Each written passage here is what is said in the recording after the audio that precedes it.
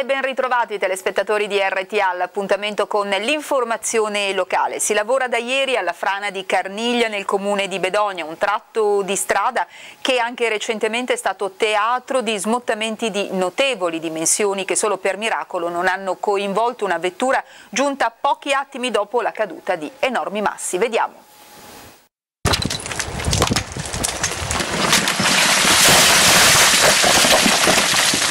Sono iniziati ieri pomeriggio a Bedonia gli interventi di rimozione dello smottamento e messa in sicurezza della carreggiata nella frazione di Case Fellini, a seguito del movimento franoso verificatosi il 24 novembre dello scorso anno attorno alle ore 14, più precisamente a lato della strada secondaria che collega le frazioni di Case Sparse, Carniglia e Caneso alla strada provinciale Bedonia, Passo del Bocco, Chiavari. L'appalto è stato affidato alla ditta Manfredi Antonio, mentre una compagnia specializzata valdostana si sta occupando di due operazioni di brillamento necessarie per mettere in sicurezza la zona.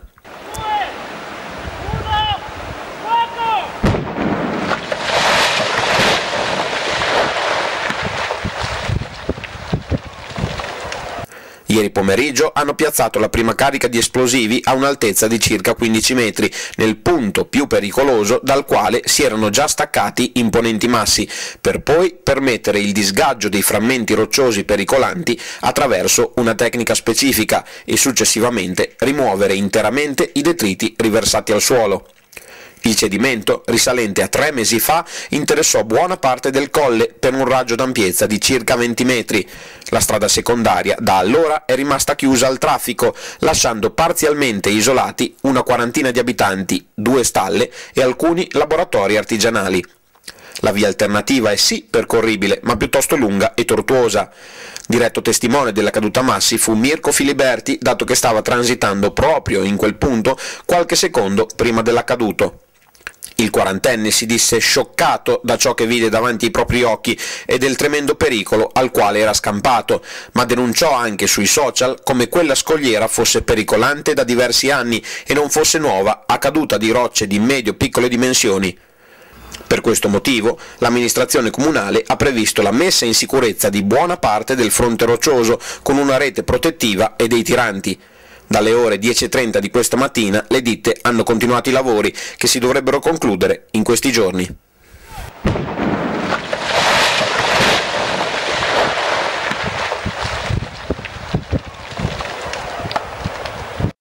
Voltiamo pagina per il Comitato Pro Ospedale di Borgotaro, il sindaco Diego Rossi, come gli altri primi cittadini, il presidente della regione Bonaccini e l'assessore Venturi non hanno fatto nulla ad oggi di veramente concreto per poter riottenere l'apertura del punto nascita del Santa Maria. Lei, Diego Rossi, come sindaco di Borgotaro e presidente della provincia di Parma, come noi dei comitati sparsi sulla montagna emiliana, lamenta le mancate risposte del Ministero all'istanza di revisione che avete inviato a fine febbraio 2018.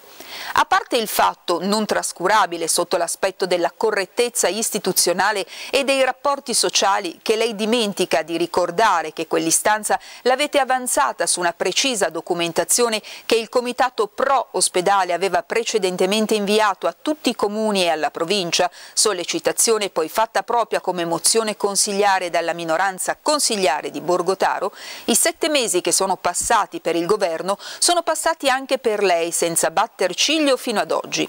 Come gli avevamo scritto già due mesi fa, ci saremmo aspettati un interessamento ben maggiore che non c'è stato prima e da quanto dice non c'è neanche oggi.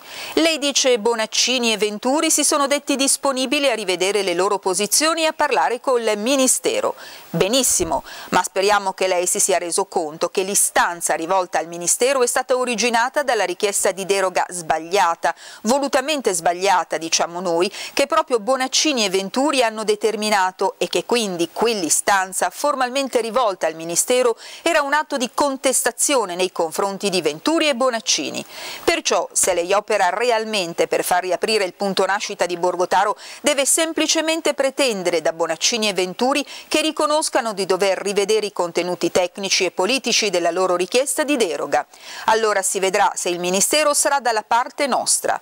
Noi sinceramente pensiamo che il Ministero e il Governo debbano fare la loro parte parte, ma che una parte altrettanto decisiva debbano farla regione ed enti locali, in primis i comuni direttamente interessati. Sull'annoso tema dei ritardi nei pagamenti ai fornitori della pubblica amministrazione, la provincia di Parma è in netta controtendenza. L'ente di Palazzo Giordani nel 2018 ha liquidato i pagamenti in media in soli 19 giorni dall'arrivo delle fatture contro i 30 richiesti dalla normativa. Lo rileva la piattaforma nazionale di certificazione dei crediti che ha elaborato i dati riferiti alle fatture messe a carico delle amministrazioni provinciali tra il 1 gennaio e il 30 settembre dello scorso anno. La provincia di Parma è particolarmente virtuosa. In ambito nazionale la media di pagamento delle province italiane è di 36 giorni, quelle dell'Emilia hanno tempi medi di pagamento di 28 giorni. Soddisfazione per questo risultato esprime il Presidente Diego Rossi. Abbiamo preso in carico una situazione ben gestita che speriamo di migliorare ancora, afferma. La provincia gestisce ancora un bilancio di più di 70 milioni di euro l'anno. La tempestività dei pagamenti ha un'incidenza positiva diretta, in particolare per le le piccole e medie imprese del territorio che forniscono servizi all'ente. È stato presentato sabato scorso a Bedogna al centro civico La Peschiera il cortometraggio Memorie di libertà. Si tratta di una serie di interviste raccolte, tra le quali vi è anche quella realizzata con il bedognese Pietro Gnecchi, scomparso qualche anno fa, che combatté la battaglia del Lago Nero durante la seconda guerra mondiale. Un evento che è stato organizzato dallo SPCGL, dal Comune e da Alpi. Ho capito che avremmo vinto quando ho visto disfare il primo materasso per recuperare la lana e trasformarla in un maglione per un partigiano. In quella casa fredda, tra donne che non conoscevo. Ho capito che era solo una questione di tempo e che quelle dita non si sarebbero fermate mai più. L'idea è nata dalla raccolta di memorie che noi abbiamo su una trasmissione mm, una televisione locale a Parma. Avevamo 100 interviste, di cui 24 di ex partigiani. Di queste abbiamo quattro giovani eh, registi hanno deciso poi di trasformarlo in un film documentario perché c'erano testimonianze di 12 ex partigiani che hanno raccontato la loro esperienza, la loro storia e ci hanno fatto rivivere tutto il, fatto, il, dra il dramma di quella, di quella, lotta, ma anche la soddisfazione e la gioia finale nel vedere l'Italia paese che è tornato a essere libero. L'Italia era un paese occupato da, una, da un esercito straniero e, e purtroppo le vicende interne, compreso Mussolini, quando si costruisce poi la, la, la Repubblica Sociale Italiana, eh, però erano alla mercé di questi, mm, dell'esercito germanico. E quindi bisognava liberare il paese e pensare eh, cosa fare dopo. Allora lì mm, eh, anche chi era lì che lottava sapeva che lottavano tutti per la libertà, ma anche con l'idea di regalare questa libertà e la democrazia, e la Costituzione è sicuramente un pezzo fondamentale della nostra democrazia, a tutto il nostro paese, tutto anche a quelli che erano dall'altra parte. Cioè i partigiani hanno, hanno regalato la democrazia e la libertà veramente a tutti, vinti e, e, e quelli e, e vincitori. Già riprendo figlio l'anno perché c'era una strada da fare, perché c'era, lassù c'era 2,50 m a 3 metri di neve, c'era allora. Pietro Necchi compare in questo documentario e semplicemente, ma con grande umiltà, ci, ci narra della sua esperienza partigiana, tipico della gente di montagna, l'onestà, la correttezza. Pietro Gnecchi ha portato la bandiera con orgoglio a tutte le manifestazioni partigiane, soprattutto voleva testimoniare voleva testimoniare l'amore, la gratitudine nei confronti di chi ha aiutato i partigiani. Questo era Pietro Gnecchi ed era un testimone tipico della nostra vallata. Eh, il materiale video eh, deriva dal fondo fotografico dell'Istituto della Resistenza e in più abbiamo aggiunto nel montaggio finale eh, un filmato realizzato da Antonio Marchi nel 1945 che è La liberazione di Monte Chiarugolo che ha fornito appunto immagini in movimento dell'epoca.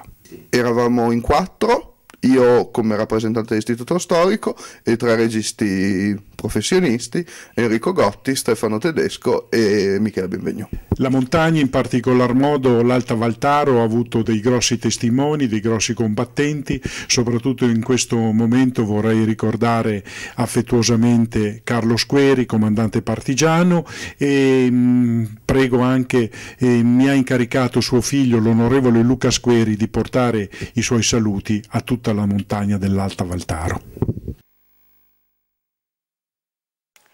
Il Consiglio dell'Unione dei Comuni Vallitaro e Ceno si terrà martedì prossimo 29 gennaio alle ore 17 presso la sede operativa di Borgotaro.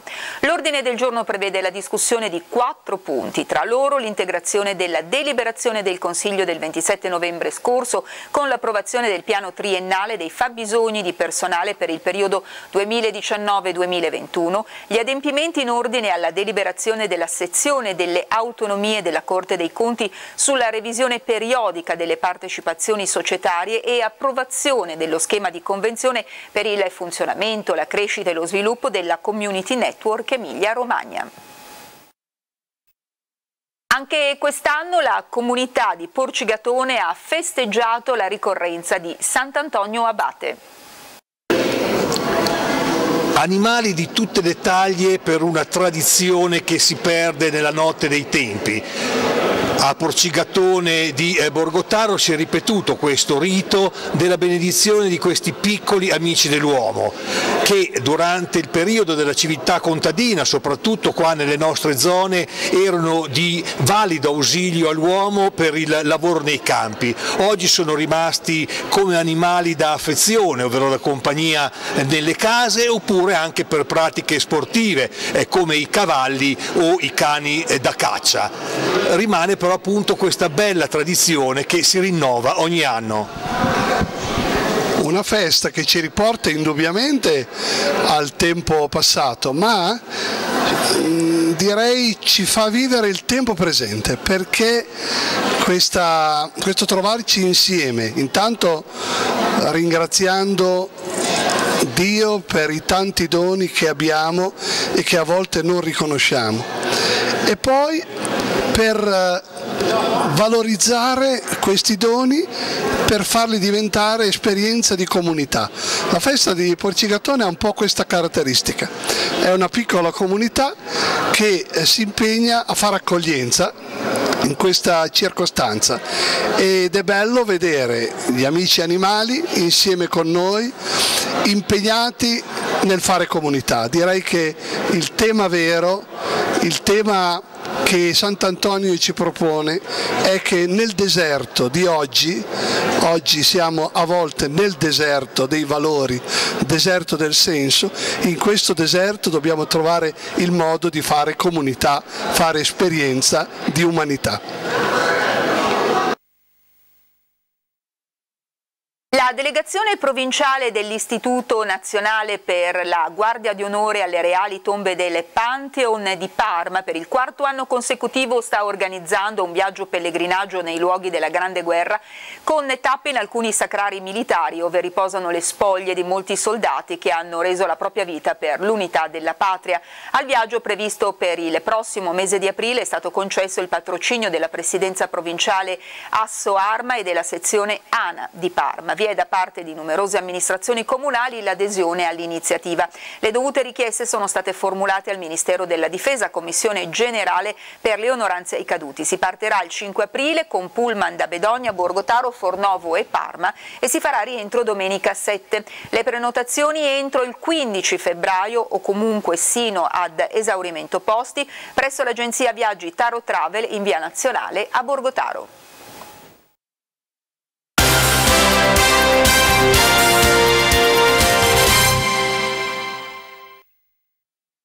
Siamo alla pagina sportiva, è ripresa sabato pomeriggio l'attività calcistica dei piccoli del Bardi dopo la pausa natalizia ed è stata subito vittoria doppia. Sono ripresi gli incontri calcistici dopo la pausa natalizia anche per la squadra dei piccoli del Bardi e subito è cominciato col botto. Sabato scorso i nati nel 2008 erano impegnati in due importanti manifestazioni sportive e in entrambe le circostanze hanno portato a casa la vittoria.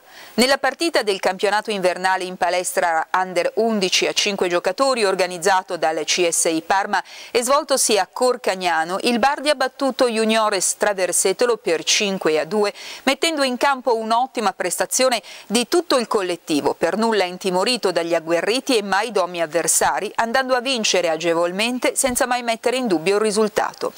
Mister Riccardo Sipone ha designato capitano Ruben e suo vice Maui Goleador sono stati Fabio, Enrico, autore di due reti, e Matteo, anch'egli con due segnature. Domani si gioca il prossimo incontro alle 15.30 presso la palestra San Paolo a Parma contro la Cop San Paolo. Nella seconda partita di sei giorni fa nel settimo torneo invernale giovanile di Carignano categoria Pulcini 2008 a sette giocatori, il Bardi ha avuto la meglio sul Cervo Nero per 4-1. Anche qui grandissima prova di tutti. Dopo un primo tempo a reti inviolati, i secondi 20 minuti di gioco sono stati esaltanti, non lasciando margine ai seppur bravi avversari. Grande tripudio dubbio sugli spalti a fine gara da parte dei sostenitori della Valceno. Il mister ha confermato capitano Ruben e suo vice Sebastian. In rete sono andati Matteo, Enrico e Fabio, autore di due gol.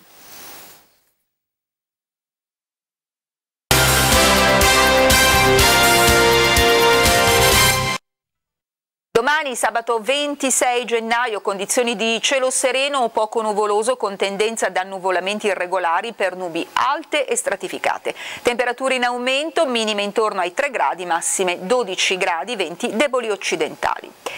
Tra poco su RTA alle 20.35 Salute e Società, alle 21 Video Station, alle 22.30 il telegiornale, alle 23 Balla che ti passi, a mezzanotte rivediamoli del 1999. Per noi è tutto, grazie dell'ascolto e buon proseguimento di serata. A domani.